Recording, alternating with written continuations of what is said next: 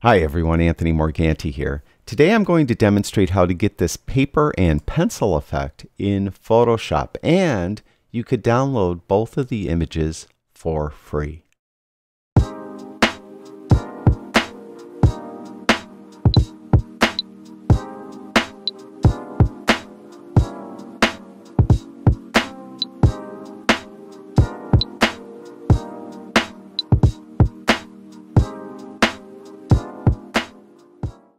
To do this effect, you're going to need two images, one of a person and one of torn paper.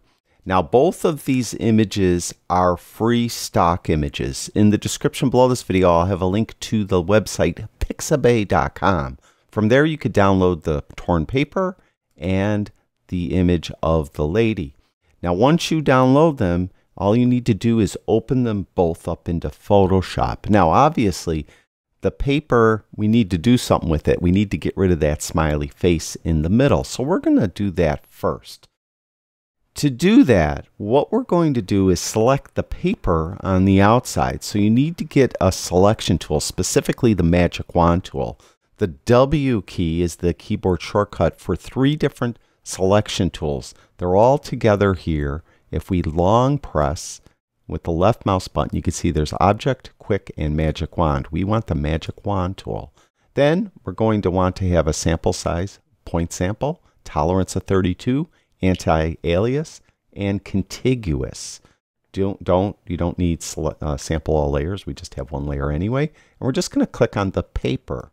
And when we do that, we selected all the paper on the outside and it's a little bit messy. We have some stray marching ants over here and a few stray ones over here. And it didn't select all the paper right here. So we need to clean that up. Now to do that, we're going to get the quick selection tool. The quick selection tool is in that same little holder area. Just long press with the left mouse button and get the quick selection tool.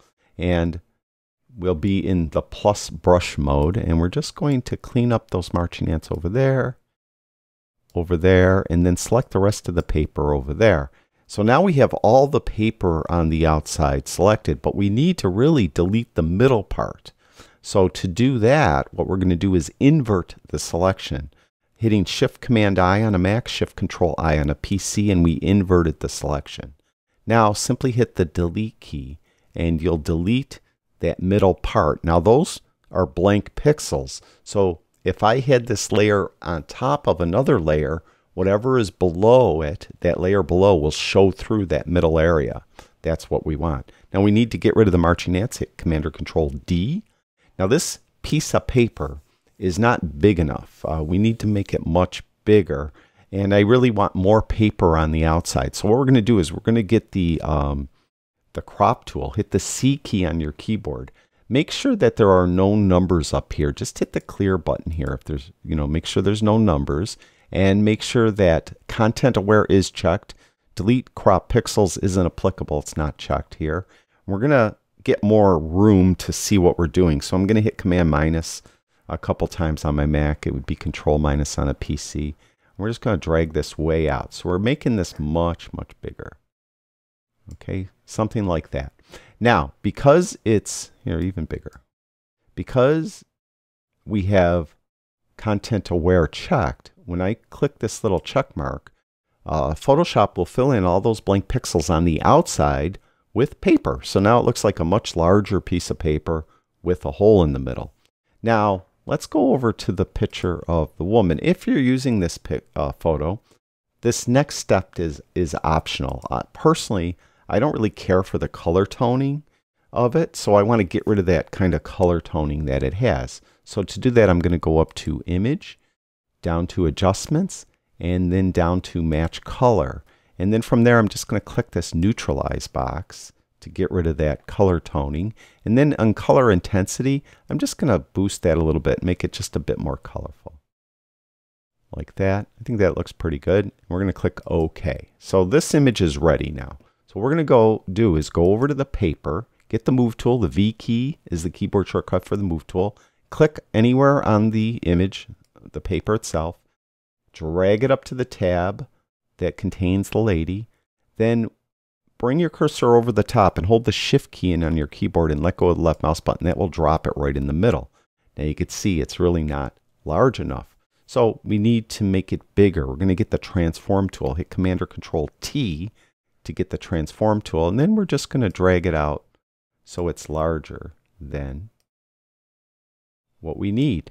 Now I like to have it so it's kind of covering up part of her lips and one eye. Um, it's up to you. You could position it as you see fit. I think that looks pretty good. So we're going to hit the check mark to accept that transformation. Next step, click on the background layer and duplicate it. Hit Command or Control J.